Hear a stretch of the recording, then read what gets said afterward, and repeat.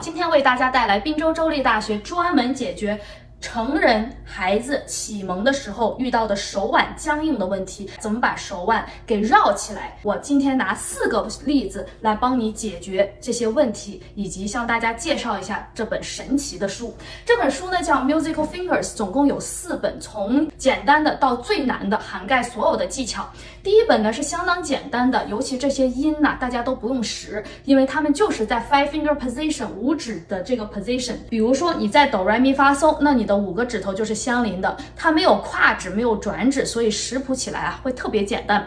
很多成人在学习的初期呢，有个问题，不是说手指不够力，不是说其他方面有问题，只是说这个手腕怎么的都动不了啊，就是僵硬在这里了。所以这本书呢，一开始会向你介绍手腕的上下运作，就像这样。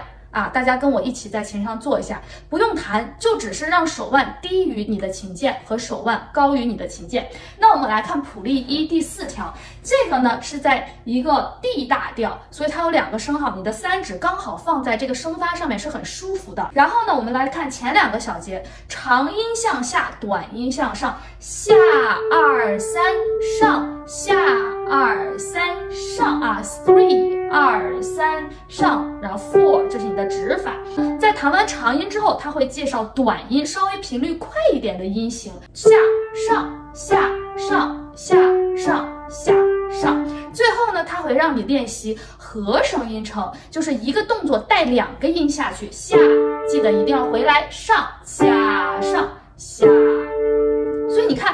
根本就没有识谱的困难，但是呢，它在一条短短的练习里面给你塞了三个要点进去：长音、短音，还有你的和声音程，对吧？所以这个就是一开始让你的手腕能够动起来，最起码不要僵硬在那里。我们再看下一个练习，这个练习呢，就是在这本书的后半部分，稍微有点复杂，因为这是被我选出来让你们用来练转手腕的。你们也观察过我哈农的这个练习，对不对？有很多转手腕的技巧。那么手腕究竟是怎么转起来的呢？我们来看一下第二十六条，第一个小节还是下上下上，然后就要转手腕，你要从下慢慢的到上，看到这个动作了吗？从下这样，你的手腕就转起来了，你不用弹成。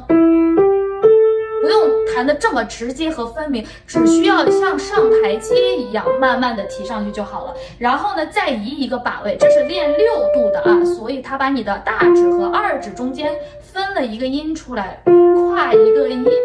然后再转，所以这个书还有一个好处，就是它不仅让你练这一块儿，它所有的调啊，C 大调的 position，G 大调，F 大调，D 大调，A 大调，什么调它都直接给你上，反正是五个手指嘛，也简单。然后这五个手指会在不同的区域，让你感觉，哎，一个技巧在不同的 register 啊音域上面的使用。那么可能有朋友问，哎呀，这个节奏是不是有点太简单了？它还有练三连音和协调的一些练习，比如说第十条，它就用了 contrary motion，还记不记得什么是 country？五跟五，四跟四，三二一都是对在一起的，这个是在 F 大调上，五四三，然后下上上，你看手腕运作是很优美的，对不对？所以它就让你。这个上下呢，逐渐的这个速度减慢啊，就会有一种美感在里面。一从一开始的只有下跟上，到中部的转手腕，到哎这个缓慢的上下，这些都是这个编者精心设计的。所以我觉得这本教材非常好。最后，我觉得它最精妙的，我之前从来没想过的，就是它教你怎么样转指这个音阶。大家在弹音阶的时候，好多人都是这样哆来咪发，就这个手。老老抽一下，我也一直没有弄懂，直到我看到这条练习，我提高一个八度为大家做示范，你们看得更清楚。这是左手练习音阶转手指的，你看啊，先 hold 住，按住你的一指，然后弹一下你的小指，就弹一下。然后呢，下面一个呢是短的，往上转指，但是是很短的。你就这样两边来回跳，但是要摁着这个大指。你摁着这个大指的时候，你就不会这样子了。哎，它真的设计的很巧妙。它有一个进阶练习，第四小节。